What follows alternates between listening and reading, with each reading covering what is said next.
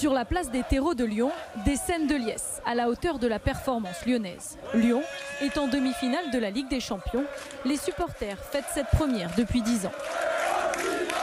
Quelques heures plus tôt, dans ce bar du premier arrondissement, avant le match, les fans de l'OL présents sont plutôt confiants. Bah, je me sens plutôt bien. Je pense qu'on a fait quand même un bel exploit face à Juventus. Euh, ce soir, on peut passer, euh, tout est possible. Après 24 minutes de jeu, Maxwell Cornet vient confirmer leur bon pressentiment. «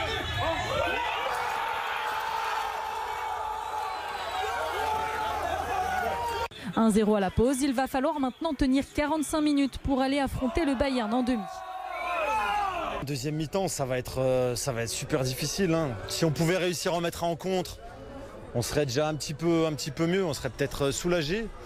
Mais ouais, dans tous les cas, avec l'armada euh, offensive qu'a Manchester, ça va, être, ça va être très difficile. En deuxième période, les supporters lyonnais ont de quoi trembler. À force de subir, Lyon encaisse un but, un partout.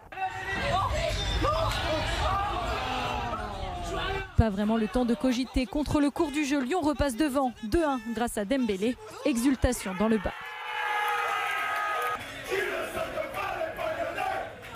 Les supporters ont à peine le temps de célébrer. Dans la foulée, Raheem Sterling manque l'immanquable et Dembélé s'offre un doublé. Lyon est qualifié pour les demi-finales.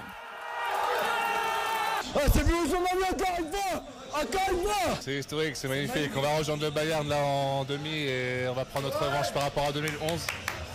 Euh, on y croyait depuis le début et c'est magnifique. Les supporters lyonnais ont plusieurs jours pour profiter mercredi. Un nouveau gros match les attend face au Bayern Munich.